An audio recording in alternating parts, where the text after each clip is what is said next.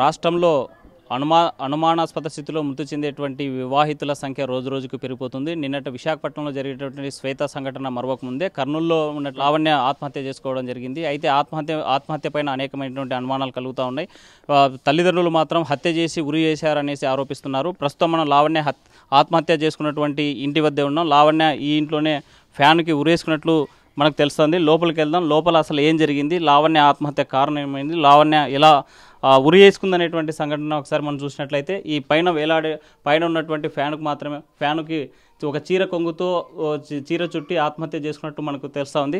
అయితే లావణ్యకి లావణ్య లావణ్యతో హరీష్ అనేటువంటి యువకుడితో రెండు వేల ఇరవై ఒకటిన వివాహమైంది. అయితే వీళ్ళ సంసార జీవితం సంవత్సర కాలంగా ప్రశాంతంగా కొనసాగుతుంది. బాగా కలిసి ఉండే బాగా కలిసి ఉండే కలిసి అన్యోన్యంగా ఉండేటువంటి దంపతులే ఆత్మహత్య చేసుకోవడం విష విచారం కలిగిస్తుందనేసి స్థానికంగా ఉన్నటువంటి కొంతమంది చెప్పేటువంటి అయితే పరిస్థితి కనిపిస్తుంది. అయితే లావణ్య యొక్క మృతి మాత్రం కూతురిని హత్య చేసి ఆత్మహత్యగా చిత్రీకరించేటువంటి ప్రయత్నం చేశారు. అందువల్లే లావణ్య మె- కత్తిఘాట్లు ఉన్నాయని లావణ్య తల్లి ఆరోపించినటువంటి పరిస్థితి అయితే కనిపిస్తోంది. హరీష్ అనేటువంటి యువకుడు ఒక- కారు డ్రైవరు కారు డ్రైవర్గా పనిచేస్తూ అన్యోన్యంగా జీవి జీవి అన్యోన్యమైనటువంటి జీవితమే గడిపేటువంటి పరిస్థితి ఉండేది. అయితే వీళ్ళ మధ్య ఎప్పుడు ఏ ఏ చిన్న పొరపచ్చలు కూడా లేవు. చిన్న గ- చిన్న ఘర్షణ ఘర్షణ కూడా చూడలేదని స్థానికంగా ఉన్నటువంటి స్థానికులు తెలియజేసేటువంటి పరిస్థితి అయితే కనిపిస్తుంది. ఒక వివాహిత లావణ్య అనుమానాస్పద స్థితిలో మృతి చెందడం జరిగింది. నాకు రెండు వేల ఇరవై రెండు వేల ఇరవై ఒకటిలో వివాహమైంది పగిడేల మండలం ముచ్చుమరి చెందినటువంటి లావణ్య కర్నూలులో ఉన్నటువంటి హరీష్కి రెండు వేల ఇరవై ఒకటిలో వివాహం చేయడం జరిగింది. అయితే సంవత్సర కాలం వాళ్ళ వివాహ వైవాహిక జీవితం ప్రశాంతంగా కొనసాగేటువంటి నేపథ్యంలోనే ఒక్కసారిగా ఇద్దరి మధ్య మనస్పర్ధలు వచ్చి అను ఉరి వేసుకొని చనిపోయినట్లు స్థానిక ప్రాథమిక విచారణలో తెలుస్తోంది. అయితే మనతో మాట్లాడడానికి లావణ్య ఎలా ఉండేది? లావణ్య మృతికి కారణం ఏంటి? లావణ్య చనిపోవడానికి కారణం ఏంటి? స్థానికంగా కొంతమంది వాళ్ళ సహచరులతో పాటు పక్కన పక్కింటి పక్కన ఉన్నటువంటి ఉన్నారు. సార్ చెప్ చెప్పండి అమ్మా లావణ్య ఎలా ఉండేది? అసలు లావణ్య మీకు మీ- మీకేమవుద్ది? తోటి కూడా లేదు. బాగానే ఉంటుంది సార్ మాతో అందరితో బాగానే ఉంటుంది. వాళ్ళు కూడా బాగానే ఉంటారు. నిన్న ఎందుకు జరిగిందో ఏమో మాకు కూడా సరిగా తెలియదు వీళ్ళు కూడా మేము అక్కడ ఉంటాం. ఇక్కడ జరిగేటి మాకు సరిగా తెలియదు సార్. మేము ఒకసారిగా మేము చూసి ఉరికితను వచ్చేసినాము. అది సార్ జరి మాతో అయితే అందరు బాగానే ఉండరు. ఆ అబ్బాయి కూడా బాగానే ఉంటాడు మా మరిది. కొట్లాడే వాళ్ళు కాదు. బాగా ఉండేవాళ్ళు బాగా తిరిగేవాళ్ళు సార్. ఎక్కడికైనా కానీ పోతే బాగా సంబరంగా పోయేటోళ్ళు. బాగానే చూసుకుంటుండే బాగానే ఉంటుంటారు సార్. అంటే ఎప్పుడైనా కొట్లాడడం కానీ లేకపోతే అడుచుకోవడం కానీ ఏమైనా కనిపించేది వాళ్ళ మధ్యన? ఆహా, లేదు సార్ అస్సలు లేదు సార్. ఎప్పుడు గొడవ వల్ల? ఎప్పుడు గొడవ వల్ల అసలుకి నిన్ననే జరిగింది అది. అది ఎందుకో ఏమో మాకు కూడా సరిగా తెలియదు సార్. బాగానే ఉంటుంటారు సార్ అది.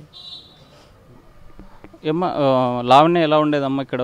ఎప్పుడన్నా ఎప్పుడు గొడవలు జరిగేది ఏమైనా చూసారా వాళ్ళ మధ్యన మీరు? లేదు సార్ బాగానే మాట్లాడుతుంది. మాతో కూడా బాగానే నక్కుంటా చేసుకుంటా మాతో ఏదైనా కానీ చెప్పేదే బాగానే ఉంటుండే.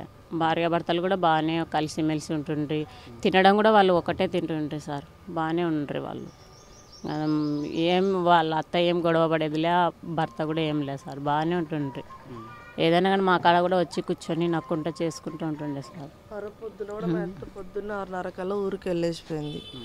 మా అత్త వచ్చేపాటికల్లా అన్నీ రెడీ చేసి నీళ్ళు పెట్టేసి ఆమె స్నానం చేసి పోయి ఏడున్నర కల్లా వెళ్ళిపోయింది. ఆరున్నర నుంచి డ్యూటీ దిగింది ఏడున్నర కల్లా వెళ్ళిపోయింది. బాగానే ఉండదు సార్ బాగానే అన్నీ చేసి పెడుతుంది. మా అత్త వచ్చేపాటికల్లా అన్నీ చేసి అన్నీ బాగానే చూసుకుంటుంది. అన్నం మంచం మీదకి వేసి పెడుతుండే. అన్నీ వచ్చేపాటికల్లా పరుపులు వేసి పెడుతుండే అన్నీ చేసి పెడుతుండే. బాగా చూసుకుంటుంటారు బాగానే ఉంటుంటారు సార్ ముగ్గురు. ఇంకా అది మొన్న మా అత్త ఊరికి పోయినాక సాయంత్రము ఇంకా ఏం జరిగిందో ఏమో తెలియదు ఇంకా అది ఇట్లా జరిగిపోయింది సార్ మాకు కూడా తెలియదు వాళ్ళు ఇంకా లోపల ఉంటారు ఇంకా మాకు అంత అర్థం కాలేదు సార్. మరి ఎందుకోసం చనిపోయింది మాకు తెలియదు సార్ అదే ఎందుకు జరిగిందో. ఇంకా మేము ఊరేసుకునేటప్పుడు అయితే పోయి అది చూసి పోయి ఇంకా తలుపులు అంటే అప్పటికి బతుకుందా? చనిపోయింది? అది ఐడియా లేదు సార్. ఆ తొందరలో అంతా తీసి మేము అది తీ రాకుంటే కోసి గొడవలతోటిగా ఇంకా ఆడ కారు ఉండే మా మరిది కారు తెచ్చి ఇండ పెట్టిండే కార్లో వేసుకొని పోయినాం. ఏమి కూడా చూడకుండానే అన్నీ వదిలేసిపోయినాం సార్. మీరు ఎలా గమనించారు? ఆమె ఉరి వేసుకుంటుంది ఇంట్లో అనేసి వాకిలు వేసి ఉంటుంది కదా. మీరు మీకు ఎలా కనిపించింది? ఎట్లా మా పిల్లోడు చెప్పినాడు సార్ చూసి. మా మా కొడుకు ఈడ ఆడుకుంటుండా ఈడనే ఆడుకుంటుండా. చూసి చెప్పినాడు ఈ లావణ్య వాళ్ళ అమ్మగారు వెళ్ళేమో నా కూతుర్ని కొట్టి చంపారు గొంతు కోశారు అని చెప్తున్నారు. అది మీరేమంటారు? లేదు సార్ కొట్టాడు. మా మా మరిది ఒకరిని దుర్మార్గంగా మాట్లాడాడు ఒకరిని కొట్టాడు అసలుకి. ఏ రోజు చేయి చేసుకుని ఎవరినే కానీ ఏమంటే ఏమంతవరకే ఆ పిల్ల కూడా బాగుంటుండే సార్ బాగా మాట్లాడిస్తుండే. అది ఎందుకు జరిగిందో కూడా తెలియదు కానీ అంతరాన కొట్టేంత అయితే జరిగలేదు సార్ జరు చెయ్యడు సార్ అసలుకి. ఎవరిని కూడా ఇంతరా ఎవరిని పల్లెత్తి మాట అన్నాడు అసలుకి. పిలిస్తే పలుకుతాడు లేదంటే అలా. తాగొచ్చేవాడు డైలీ కొట్లాడ కొట్లాట జరిగేది ఇట్లా అనేది అంటున్నారు? లేదు లేదు సార్ అస్సలు గొడవనే లేదు డైలీ. అది నిన్ననే జరిగింది అసలుకి. డైలీ గొడవ లేదు సార్ కావాలంటే వీళ్ళందరూ ఉన్నారు కదా సార్. గొడవ జరిగితే అందరికి తెలియాలి కదా సార్ డైలీ గొడవ జరిగితే అందరికి తెలియాలి కదా. అట్లా లేదు సార్ అసలుకి. డైలీ గొడవ జరిగితే మేము కూడా వచ్చి అదొకటి చెప్పేవాళ్ళం ముందరనే. మాకు అస్సలు తెలియదు సార్ గొడవ అస్సలు లేనే లేదు ఆ రోజే జరిగింది. అది ఎందుకు జరిగిందో కూడా తెలియదు అంటే సంవత్సర కాలంలో ఎప్పుడు వాళ్ళ మధ్యన చిన్న అరుచుకోవడం కానీ గొడవ పడడం కానీ ఎప్పుడు చూడలేదా మీరు? లేదు సార్. అస్సలు లేదు సార్. ఆ రోజు జరిగింది అది. వాళ్ళు లోపల ఏమో కానీ బయటికి అయితే ఏ రోజు బయట వాళ్ళేరు అంతే సార్. మీరు చెప్పండి అమ్మా లావణ్య మీ ఇంటి పక్కన ఉండేది ఎలా ఉండేది వాళ్ళు కలిసి ఎలా ఉండేవాళ్ళు? బాగానే ఉంటుంది బాగుంటారు సార్. మాతో కూడా బాగానే మాట్లాడుతుంది. భార్య భర్తలు కూడా బాగానే ఉంటారు. వాళ్ళు ఒకరినిచ్చి ఒకరు ఉండేటోళ్ళు కూడా కాదు సార్. బయటికి పోతే కూడా ఫోన్లు చేసి పిలిపించుకుంటుంది ఆ పాప. క్యాంపు పోతే కూడా ఫోన్ చేసి పిలిపించుకుంటుంది. అటువంటి ఉద్దేశాలు అయితే వాళ్ళ దగ్గర లేవు సార్. కలిసి ఇద్దరు ప్లేట్లనే తింటునే వాళ్ళు. ఇంతవరకు అయితే ఏది లేదు. కాకపోతే అది ఏం జరిగిందో మనకైతే తెలియదు సార్. మరి వీళ్ళ పొడిచి చంపారు గొంతు మీద దెబ్బలు ఉన్నాయంటున్నారు. అది ఆమె గొంతు కూరేసుకుంది కదా సార్. అది బిగించుకోపోయే కొద్దీ ఆమెకు గోర్లు ఎక్కువ ఉన్నాయి. బిగించుకోపోయే కొద్దీ ఇట్లా పెరకనికనేం పోయింది. ఆమె గోర్లే ఆమె కుచ్చుకున్నాయి. మేము కూడా అది గమనించలే. ఆ దాంట్లో బట్టి ఆ ఇడిపియడాన మేము కూడా గమనించలే. కానీ వాళ్ళు కొట్టి చేసినారని పెట్టినారు. ఇంతమంది ఉన్నారు కదా సార్ లోకమే కదా ఇదంతా. వాళ్ళనంతా అడిగి కనుక్కొని ఇంకోటి చేసి చెప్పండి. వాళ్ళు మస్తుగా చెప్తారు సార్ వాళ్ళ ఆడపిల్లలు మేము కూడా కాదాము. వాళ్ళు బయటోళ్ళు ఎట్లా చెప్తే మీరు అట్ట నిర్ణయించండి. అంతే కదా సార్?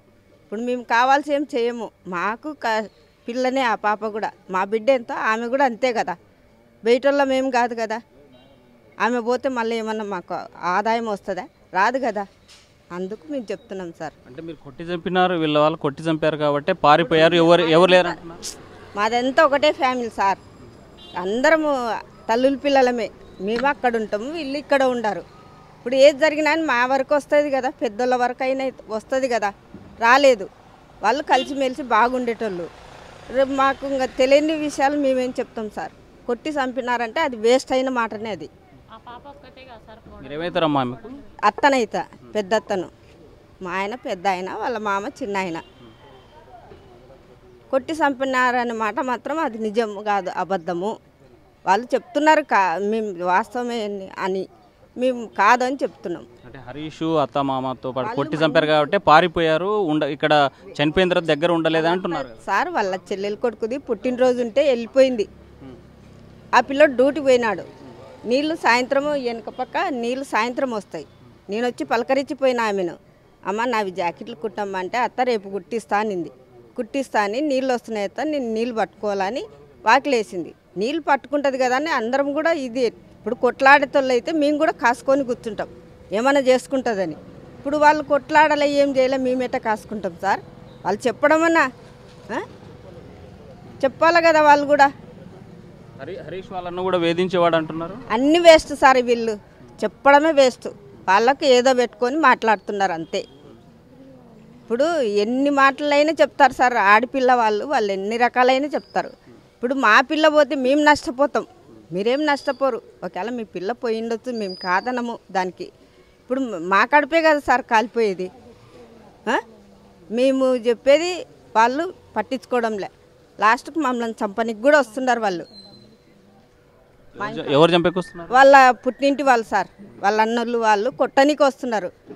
ఇప్పుడు మేము ఎందుకు చేస్తాం సార్? ఇప్పుడు పెళ్ళి చేసినాం కదా. ఆ పిల్లని చంపితే మాకేం రాదు కదా? చెప్పమ్మా. ఆ పాపతో ముగ్గురు కోడన్లు ఉన్నారు సార్. వాళ్ళకు కూడా అడగండి కోడన్లని అరణ్లని వేధించాలనుకుంటే వీళ్ళని కూడా వేధిస్తారు కదా. ఆ పాప ఇంటి కోడలే కదా. కట్నం గురించి కూడా ఎప్పుడు మేము ఇది చేయలేదు ఆ పాపని. వాళ్ళ తోటి కోడల్ని అడగండి. ఆ పాప చేస్తుంది కదా ఇంట్లో భర్త వాళ్ళు వాళ్ళ అత్త వాళ్ళు మరిది వాళ్ళు ఏది వేదన అనేది వాళ్ళకి తెలుస్తుంది కదా. ఆ పాపని అడగండి. కట్నం గురించి కూడా వేధిస్తున్నారని చెప్పినారంట. అదైతే ఏం లేదు సార్. ఇప్పుడు పాప వాళ్ళ ఊరికి పోవాలని గొడవ పడినారంట సాయంత్రం. భర్త ఇద్దరు. దాని గురించి గొడవ పడినారు ఎందుకు ఊరు పోవాలనుకున్నారు? వాళ్ళ అన్నది పెళ్ళి ఉందంట సార్ ఈ నెలలో. ఇప్పుడు ఒకరి కాడ జ- ఇది చేస్తున్నాడు. నెల ముందు పోవాలంటే ఎవరు ఈడుస్తారు సార్? దొరకదు నువ్వు పో అన్నాడంట. అది తప్ప సార్? వాళ్ళు చెప్పడం అని అది కూడా ఆలోచన చేయాలి కదా. నెల ముందు ఎవరన్నా పోతారా పుట్టినళ్ళకి? అదేం తప్ప? ఏమి? నేనేం తప్పేం మాట్లాడడంలే. అంతే కదా సార్? ఇప్పుడు నువ్వు పో అన్నాడంట. పది రోజుల ముందు పో అని చెప్పినాడంట. ఆ, ఆ పాప నువ్వుగా రావాలంటే ఒకరి కింద ఉద్యోగం చేసేటోళ్ళు ఎట్ట పోతారు సార్? జీతం రావాలి కదా మనకు. ఏం గవర్నమెంట్ జాబా? ఒకరి కింద ప్రైవేట్ జాబ్ చేసేటప్పుడు వాళ్ళు పో అంటే పోవాలా లేదంటే ఊకుండాలా? నీకు ఆ రోజుకు తలవాల రోజుకు రాకుంటే ఆ పిల్లోని నువ్వు మాట్లాడాలా? దానికి గొడవ చేసుకొని ఇవన్నీ చేయడం వేస్టే కదా సార్ ఇప్పుడు ఎవరు బాధపడేది? మేమే కదా. నువ్వు పోతివి నీ పుట్టింటోళ్ళు కేసులు పెట్టి ఎవరు తిప్పలు పడాలా మా గురించి? ఉన్నెల్లో మేము బాధపడాలి కదా సార్? నువ్వు చెప్పు. ఒకవేళ అవ్వు మేము ఇది చేస్తున్నాం అది చేస్తున్నాం.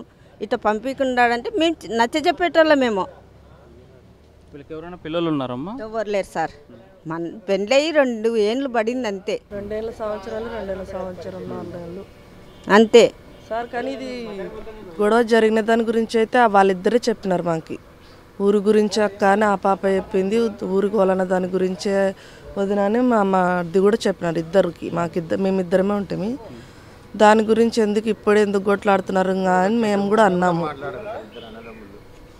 ఒక చెడ్డ మాట కూడా మాట్లాడరు ఒకరిని.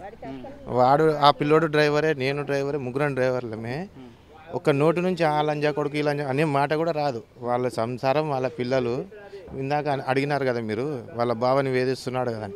ఆడ ఆ పాప ఉందంటే వాడు ఇక్కడ కూడా రాడు. వాని పిల్లలు వాని భార్య వాని సంసారం అంతే వానికి. వాని డ్యూటీ ఎంత? ఆ, అది. నాకు సుమారుగా అంటే ఒక ఇరవై ఏళ్ళ నుంచి పరిచయం. ఎవరినే కానీ అన్న అని పిలుస్తాడు వాడు. ఇద్దరు అంతే ఎవరినే కానీ ఆ ఇద్దరు భార్య భర్తలు కూడా చిన్నపిల్లలు ఎట్లా ఆట ఆడుకుంటుంటారో అట్లా ఆడుకుంటుంటారు. నేను వెనకాల సైడ్ చూస్తుంటాను. అంటే మీరు మీరు ఫ్రెండ్స్ అవుతారా బంధువు అవుతారా ఫ్రెండ్స్ అంతా ఇదే లైన్ ఇల్లు మొత్తం. పక్కన నాది ఇల్లు అది కారు ఉండేది. చిన్నపిల్లలు ఎట్లా ఆట ఆడుకుంటారో నవ్వుకుంటా చేసుకుంటా బాగా ఉండ్రి నేను అవతల వెనకాల సైడ్ కూడా చూస్తుంటా. నీళ్ళు పట్టుకునే వచ్చినప్పుడు. అంత సంతోషంగా ఉండ్రి. అసలు స్టన్ అయిపోయినాం మేము ఇట్లా అయిపోయిందంటే. ఎందుకు ఇలా చేసుకున్నారబ్బా అని. అసలు చాలా మంచి పిల్లోడు అభి అని పిల్లోడు. వాని డ్యూటీ ఏమి వాడే వాళ్ళన్న కూడా అంతే. ఆయిల్ వాని వాళ్ళ ఇల్లు అవతల ఈ పిల్లోని ఇల్లు ఈడ. వాళ్ళ ఇల్లు ఎంత అంతే సంసారం. ఒకరి గురించి పట్టించుకునే తోలే కాదు. ఇది